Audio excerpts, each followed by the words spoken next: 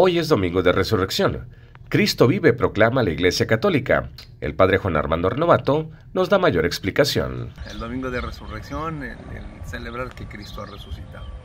Invitamos a la comunidad a que participe en estos diferentes oficios, que todas las parroquias los tenemos. Checar con su parroquia los horarios para que podamos participar y celebrar nuestra Semana Santa si no estoy en la ciudad, si estoy fuera, de vacaciones en el rancho, en el río, ¿qué debo de hacer el domingo? El domingo, si, si no me es posible, porque no hay ningún templo cerca, pues meditar la palabra de Dios, llevarme la lectura de la Biblia, llevarme el misal, llevarme eh, algo para hacer oración ese día. Sabemos que muchas comunidades, muchas personas salen, muchas personas se reúnen, tienen reunión familiar ese día.